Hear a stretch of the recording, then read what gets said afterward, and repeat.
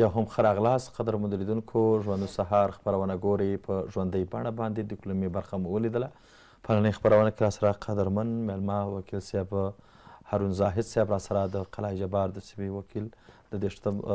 ګذر وکیل دی راسره موږ هم کوښښ دا کوو چې د بېلابېلو سیمو ناحو وکیل صاحبان له ځان سره ولرو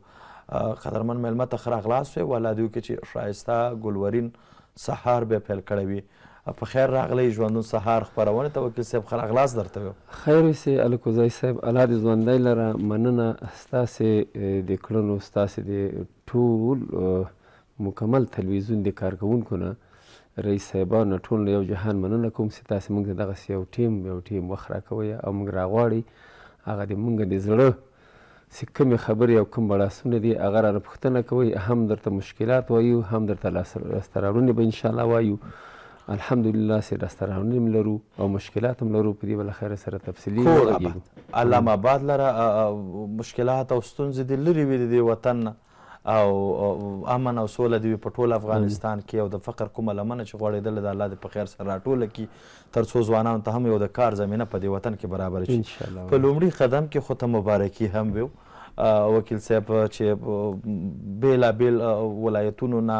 ناحو نه موږ سره اړیکې راځي یا خپل ستونزې خپل مشکلات په عمومي موضوع کې راس شریکوي خبر شو چې قلعه جبار د سرک چې ډیری ولسونه تقریبا په دې شلو دیرشو کالو کې دې سرک ته توجه نه وه شوې او نن لله الحمد افتتاح شي دا هم د خوشحالۍ زیری دی په لاسته راوړنو را سره هم وغږیږه او نوې پروژې څه شی دي او د ولسونو ستونزې څه دي که پر دې را سره وغږیږي بیا هم مبارکي درته وایو ایله به دا د هغه ولسونه چې موږ سره یې اړیکې نیولې د دوی د هم کور اباد یې او کور یې اباد چې ستاسو دا غږ واورېدل شو مهرباني صاحب خیر اوسې مننه ستاسې د مبارکۍ نه ستاسې د خوشحالۍ نه یو جهان مننه بیا هم کوم ستاسې موږ سره خوشحالېږي په دې افغانستان په هر ګوټ کې چې یو معمولي خوشحالي هم راځي زه پوهېږم چې میډیا ولا یو په لس به دې خوشحالېږي او میډیا والا کار همدغه دسی یو مسلمان ته په شونډو باندې یو خندا راولي یو مسکا راولي نو مننه خیر اوسې اول تر د تاسې له طریقه زه خپلو ټولو مسافرو ورونو ته که په افغا خارج کې که په داخل کې ټولو ته اول تر السلام علیکم ورحمت الله برکات بل سلام علیکوزی صاحب پرون د موږ دوستانو ملګرو شایقینو د خوشحالۍ نه نو واقعا په فیسبوک کې دا خبر خپور که او ټولې دنیا به لیدلی نو د فیسبوک خو نن سبا جهاني فیسبوک ده نو ډیر خلکو موږ ته هم زنګونه وهل او ډیره خوشحالانه څرګندې کړې او ډیره مننه یې وکړله خو موږ اولتر د هر څه نه د الله جلاله د رضا په خاطر دا کار کوو. نې په ریا نه نیت او نې کوو. ډیره غټه لاسته رولنه په دې ده الکوزی صاحب سې په دغه د امارت اسلامي په راتګ سره جمهوریت کې مونږه ډیرې منډې وکړلې او ډیرې هلې ځلې مو کړلې چون په هغه وخت کې د مونږه غږ هغه جای ته ونه رسید د امارت اسلامي په راتګ سره الحمدلله سې کار ته کار وویل سو. څه کومه وعده يې درسره وکړله، کوم تعهد يې درسره وکړ، په هغه تعهد او په هغه کار باندې دوی وفا کوي. دغه يو غټ ټکی، مهمه ټکی يې دغه ده، چې په وعده چا وفا وکړله، ان شاءالله هغه به کامياب وي. نو ځکه وفا يې وکړله، چې موږ د ناحيې له طريقه، د دولسمې ناحيې له طريقه، چې موږ مربوط د دولسمې ناحيې يو، نو د هغوی د کوششونو، د هغوی د زړه سواندۍ له هغه نه، چې د موږ کلي ته مخکې رئيس د ناحيې چې و، نقشبندي صاحب، ډیر ښه سړی وو ډیر مبارک سړی وو هغه دی مونږ کلی ته یو ورځ دسی تیریده راغی او دای مونږ کلی سی ولید نو ډیر افسوس یی وکړ وکیل صاحب تاسی نه یی ګرځیدلی کار هم نده کړی که چا درته کړی نده مالی رئیس صاحب مونږ مکمل اسنادونه لرو اوس هم دی ما مکمل دی څلورو کالو مخکی اسنادونه په تدارکاتو شهروالی کی ایښی دی چون یو قدم هم وړاندی ندی تللی. د همغه جمهوریت نو هغه نه بعد هم موږ مارسیکوټ موسسې سره ستا سره مخکې مې ورما یادونه کړې وله هغه سره موږ دا سرکونه کار کړی و نهایی اته نوي فیصده ته رسېدلی و خو تحولات راغله هغه کار په شا لاړه نو اوس د نفت موسسې له خوا نه څه دوه سوه پروژې د کابل ولایت ته ورکړي دي او په دې کې بیا دیارلس پروژې د موږ دولسمې ناحیې ته ورکړې چې په دې دیارلس کې خوشبختانه د رئیس صاحب او د ناحیې له ښه خلوص نه موږ هم مستفید شولو، قلعه جبار ته یې دوه پروژې ورکړلې چې دوه ګذره دي موږ یو نهه ویشتم ګذر ده او یو دېرشم ګذر ده نو دواړو ګذرو دپاره یې دغه د مابین سرک ونیو، دواړو ګذرو ته دوه وکیلانو ته یې ورکړه چې عبدالجبار نوابي دی یو او یو زه یم. نو موږ ته دغه پروژه راکړله او دا پروژه خوشبختانه سیزمې کې سروې سوي وله او نن پرون عملی کار شروع سو او پټه یې مش کوله او ټول کلی نهایی زیات خوشحاله او کلی او ډیر خوشحاله وو او ان شاء الله دغه پروژې دا دغه اوس پروژه سره لګیا ده دا بیا په دوه تقسیمه ده الکوزای صاحب په کومه برخه کې دا یو خو د سرکونو ستونزه ډیره زیاته یادېدله کنه چې تقریباً په دې شلو یا پنځوسو کلونو کې دې ته توجه نه وه شوې، ولله الحمد اوس توجه وشوه، ترڅو دغه د ساعتونو لارې د ټولو ولایتونو د ټولو ناحو دغه ساعتونو لارې نیم ساعت او شلو دقیقو ته راشي، ترڅو زموږ مخور مشران، سپین ږیري جومات ته په ازادانه توګه لاړ شي، خسته په نه په باران، چې باران وي وېره به نه وي چې یا به کوڅه چکړه وي یا به کوڅه کې به ډنډ اوبه ولاړې وي، زموږ او تاسو خویندې میندې که کلینیک ته ځي، همداسې ګلالي ماشومان که مدرسو ته ځي، ښوونځیو ته ځي، دوی به هم په اسودګۍ ځي. مهرباني. ان شاء الله. دغه یو ټکی مهمه ده چې دغه زه درته بیا یادوري وکړم چې په دې کې د موږ بعضې ولسونو څه تشویش درلوده، اوس د تا له طریقه د میډیا له طریقه یې زه په عامه سطحه باندې وایم چې دغه د موږ د جقلاجبار چې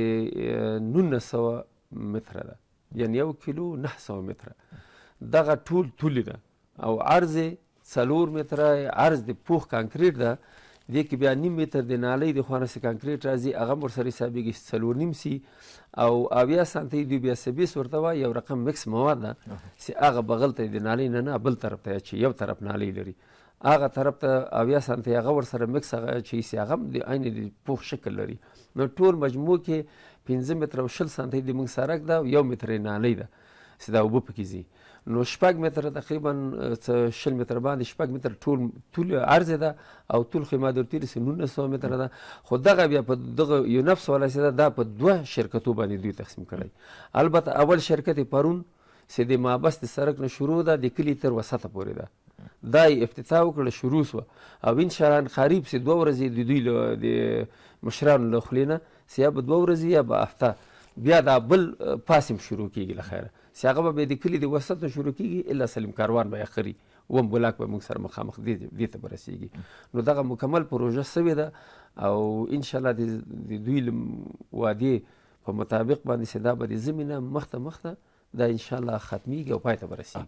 بېلابېلو ناحو کې مثال په خپل احمد شاه بابا مېنه کې لکه څنګه چې کار روان دی په کوڅو باندې په نورو پروژو باندې خو ډېری د سرکونه هم پکې پاتې دي د پنځلسم بلاک د بېلابېل بلاکونو مثال سرکونه پاتې دي چې دې ته هم توجه وشي تر څو دغه ولسونه په خوشحالۍ سره ژوند وکړي ډیره زیاته مننه کوو وکیل صاحب چې راغلی وي دا خو په پروژه وغږیدلی را سره بیا هم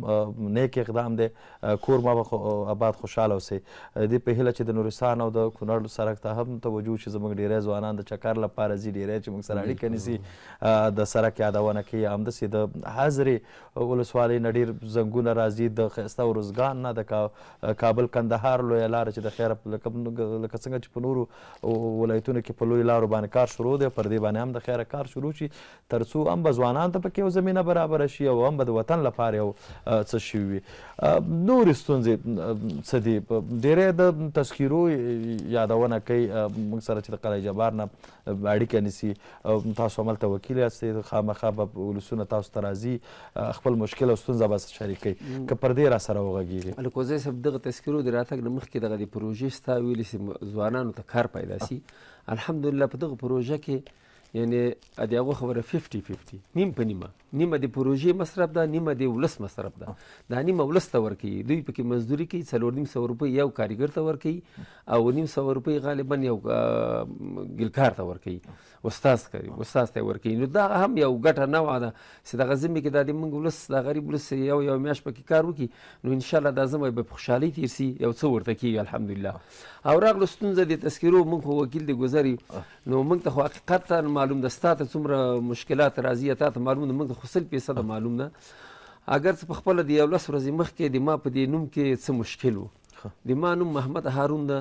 او هلته په تذکره کې لیکل سوی هارون و البته دما زیات اسنادونه د محمد هارون په نوم باندې دي او تذکره کې دما هارون ده او د ما د پلار نوم سي اصل نوم دا زیړ ګل ده په پښتو کې زیړ ګل یو یو ډی کته خوري کنه البته دا یو د پارسي زبانه د موږ او تاسو دری زبانه سړی لیکلی ده زرګ ولیکړی ده نو دا مشکل ما ته په خپله جوړ سو زه په خپل حال کوزی صاحب لاړم شاید حال زه درته وایم هسې ان شاء الله ولس دې ما خبره د میډیا واوري همارت اسلامي مشران ته د ما دا پیشنهاد ده یوازې تاسو نه نور ولسونه به هم ولسونه سي ته دغه نفوس اول نفوس ته لاړ سي لکه زه صاحب ته به په خپله ووایي سي نهایي ټول د دنیا د افغانستان غم هغه خوشاغه مې ټول په دغه ځای کې راټول سوی ده هغه البته ولې یو نوم د ما هارون محمد هارون کوم د پلار نوم یې زیړګل ده په اصل تاداو کې په کونده کې او دلته زرګل سوی ده دغسې زه کومه تېمنې سې پنځه ورځې ما پسې منډې وهلې زه د کومو ځایو نه ورته راتلم اولته تلم نن دې دا نسته ده نن دا نسته نن دا نسته نن دا نسته قطعي صورت باندې مامورین کار نه کوي په والله هسې کار نه کوي رئیسان مشران یې ډېر ښه خلک دي خو البته هغوی دومره یعنې هغه نه لري په دې خپله پروژه باندې باید معلومات حاصل کړي باید وګرځي باید شکایتو کمیسیون راسي وګرځي دا مخلوق وګوري تې منې سي ماشومان سي اثر د ولایت نه راغلي دي درې شپې څلور شپې پنځه شپې په دې احوال نفوس کې دلته بیچاره ګان په هوټل کې پراته دي قسم یې وخوړ یو سړي راته وزړلې وایي ما سره نور روپۍ نشته زه بېګا د هوټل ډوډۍ وخورم کار مې هغه د بند البته د مونږ الحمدالله د مونږ لياز يې وکړ، مونږ په دغه جامه کښې ورغلو، لياز يې وکړ، کور يې ودان، ماته ويلي مولوي صاحب راځه، زه يې ننوستم غرفې ته، ما خپل هغه ورقه خپله وکتله، نو را وامې خستله، خو ليکن عامو خلکو د پاره دا کار نشته، نو دا مشکلات زښته زيات دي، غوښتنه مې دا ده چې امارت اسلامي بايد د دغه احوال نپوس د تذکرو، نن سبا د مونږ غټ مشکل يو د دې حقوقي مسئله ده، د قرضدارۍ او د مځکو مسله ده چې دا ډېره عمیقه مسله ده او درنده مسله ده او بل دغه د تذکرو د اصلاح مسله ده چې دا ګوره ډېره ودي خبره ده البته مخکې دوه سوه روپۍ اوس پنځه سوه روپۍ خلک په خوشحالۍ ورکوي نه وایي څوک چې پنځه سوه ولې رانه اخلي ولاکه څوک وایي خو ځورېده پکې ډېر دي دې ارګان ته لاړ سه، هلته لاړ سه، جنګلک ته لاړ سه، بېرته احوال نپوس ته لاړ سه، وزارت داخلې ته لاړ سه، وکیل د ګذر ته لاړ سه، بېچاره ګان په عذابېده زښته ډېر دي، که نه حقیقت کې به هېڅ مشکل نه وي دغه که هماغه یو جای کې دغه درې واړه ارګان یو جای سي راسي تا مشکل د نوم محمد هارون هلته باید پوښتنه وسي په ټیلیفون دغه محمد هارون ده که هارون ده محمد هارون ده ځي اوس هارون ده ځي محمد هارون کومه کنه ما څه مشکل ده باید اصلاح شي کنه کمپیوټر پیسې ناشته وو کمپیوټر کې ناشته ټک ټک اصلاح کا دغه تګ او راتګ دا مشکلات زښت زیاتې دا ما په دې دستور ګولې دي خلک ډیر په عذاب دي خدای دې وکړي تاسو له طریقه د امارت اسلامي مسول کسان دې ما غږ واوري او موږ وکیل دې گذر یعنی موږ د معلومات کې خلک بیچارهګان عزیز اوریږي د یو ټاپې لپاره درې وارې څلور وارې ځي او راځي ځي او راځي ځي او راځي دا مشکلات باید یو ورځ یې راته یو ټوکه کړې وه چې الکوزی صاحب ته چېرته دغه زموږ د ستونزو نه څه خبر یې چې ډېری اورېدونکو لیدونکو موږ سره اړیکې نه ول دا د بشري مرستو یادونه بیا کوله چې زما نوم یې نه دی لیکلی موږ پاتې یو مواد د بیا ته یو ورځ یې راته وویل چې نه به شپه به دې نه معلومه دوه بجې به ټک ټک به وشي وبه وایي چې وکیل صاحب زما نوم دې نه دی لیکلی کور آباد خوشحاله اوسئ وکیل صاحب چې راغلي وئ د ځوانانو د ذهنیت جوړولو لپاره څه کول پکار دي چې ډیری ځوانان زموږ او ستاسو په قاچاقي لارو باندې ځي بیا هم تاسو ګرځندی وئ ولسونه به ولسونو سره کینئ په جرګو مرکو کې هم کینئ ډېرې خبرې به اورئ ځوانانو ته پیغام څه لرئ خو لنډې چاندمې ته ځو دمې نه بعد خپرونه مه هېروئ لیدونکو وکیل صاحب هارون زاهد صاحب را سره په نۍ خپرونه کې دی خپرونه تر پایه وګورئ خپرونه ستاسو خپرونه بیا هم ښه راغلاست قدرمند لیدونکو وکیل صاحب محمد هارون زاهد صاحب را سره په نننۍ خپرونه کې دی خپل درون مېلمه ته بیا هم ښه راغلاست وایي والله دې وکړي چې ښایسته او ګل ورین سهار به پیل کړی وی او موږ هم کوښښدا کو چې بیلا بیل کدرونه مخور مشران په خپرونه کې له ځان سره ولرو وکیل صاحب مخکې په ستونزو او مشکلاتو باندې هم وغږېدلې ډېری ولسونه چې موږ سره اړیکه نیسي د د بشري مرستو یادونه کوي که پر دې اړه باندې هم لیدونکو ته معلومات ورکړي موږ هم پوهیږو چې اوس مرستې لږې کمې شوي دي یا ودریدلي دي خو بیا هم لیدونکو پوه شي پر دې باندې مهرباني الله دې ژوندی لره کوزی صاحب دا واقعا چې دغه کومکونه د ډبلیو پي له خوا نه چې مخکې وړل کېدل په ټول افغانستان کې خاص کر باید موږ دولسمه نایه کې نو دا کومکونه اوس څو فیصده اعلان یې پرې وکړو رسمي اعلان یې پرې وکړو چې دا فیصدي راکمه سوله لکه چې مخکې یو لک نفرو ته کومک ورکول کېده اوس هغه کومک څلوېښت زرو ته راکته سو نو شپېته فیصده که اویا فیصده دې کې کمبود راغی نو په دغه خاطر باندې دا ولسونه هم تشویش کې دي واقعا یعنې ضرورت دلته ورځ په ورځ ډېرېږي خلکو د خلکو تقاضاوې ډېرېږي سو کومکونه باید ډېر سي او په دې حال کې سې د خلکو تقاضاوې ډېرېږي اول ته کمېږي دا واقعاً یو غټ واټن ده ګوره د د ولس په مابین کې یعنې ډېر هجوم راپورته کېږي خلک خپه کېږي یعنې زه درته وایم که په سلو کورو کې یو پنځه کورو ته داسې خلکو ته چا مواد ورکړی سي هغه دې لږ زره اقتصاد ښه یې برابر یي دغه دغه پنځه نوي یا نوي فیصده خو داسې خلکو اخیستی دی سي ولا شپه او ورځ هغه ورګان تم دوا کوي چي څوک يې ورته تقسيموي، امارت اسلامي تم دوا کوي چي تنظيموي يې،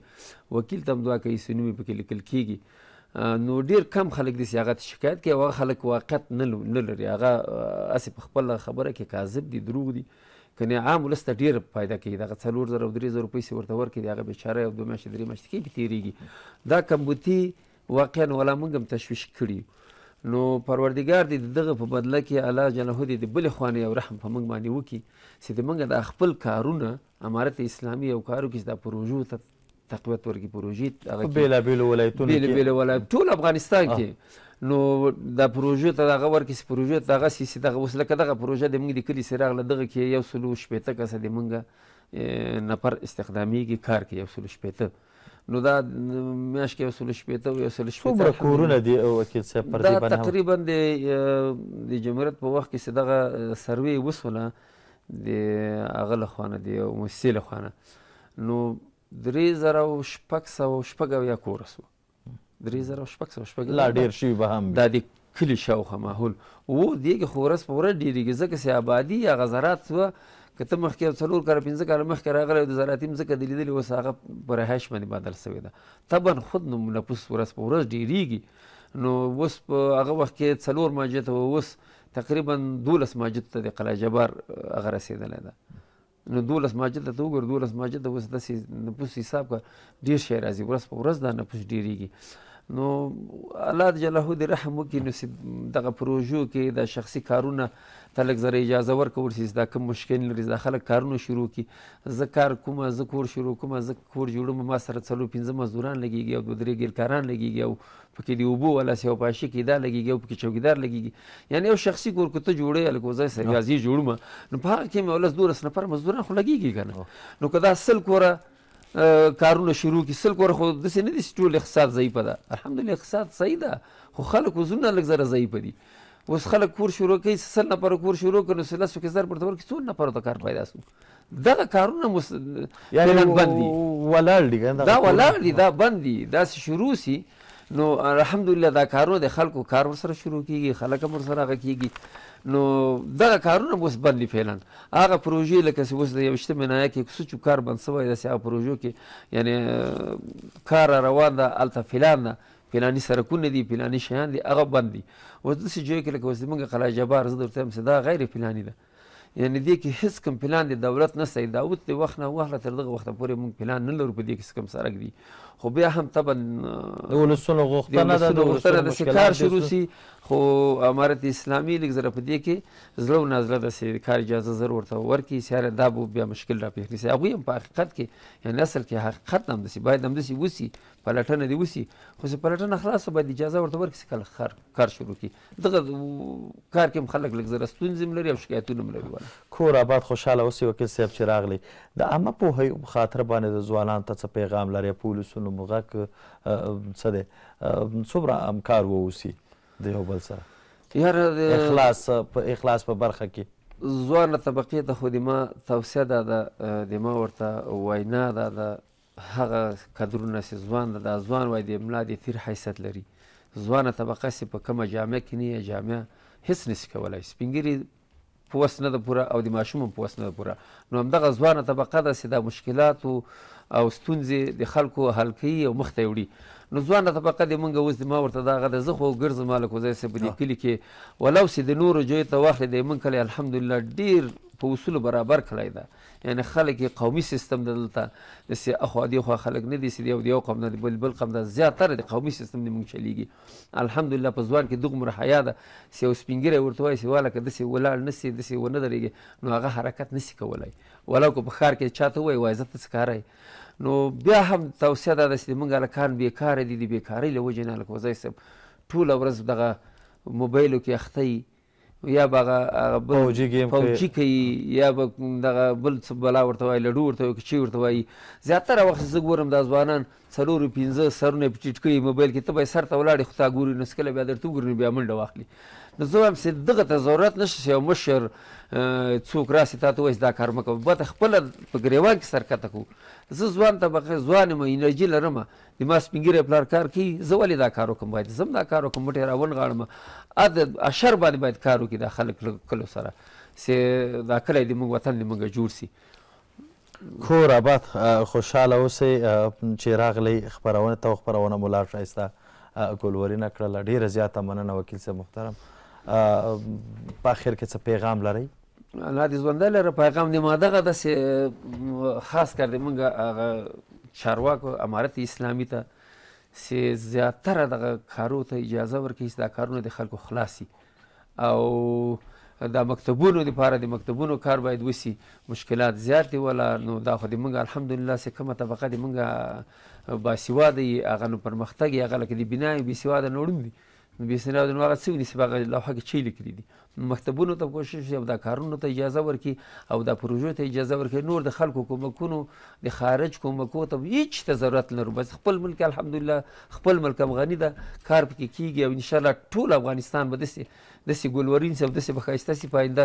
کلو کې سي سي بیا به ته وایې هلکه ځای دا افغانستان نه ده دا خو د اروپا سره ټکر وهي. ډیره زیاته مننه وکیل صاحب چی راغلی خپرونی ته کور مو اباد خوشحال اوسې ډیره زیاته مننه تا نه مننه اباز هم چنان د ټولو کارکوونکو نه ټولو نه مننه. ډیره زیاته مننه قدرمندو لیدونکو وکیل صاحب محمد هارون زاهد صاحب راسره د قلعه جبار د دېرشتم ګذر وکیل صاحب راسره په نۍ خپرونه کې موږ هم کو خدا کو چې بیلابیل وکیل صاحبان د هرې ناحیې د ناحیې رئیسان هم په خپرونه کې له ځان سره ولرو په شته ستونزو او لاسته راوړنو باندې وغږیږو لیدونکو ځو خبری راپور ګورو بیا هم موږ سره پاتی شی خپرونه ستاسو خپرونه ده ملتیا مو وکړی.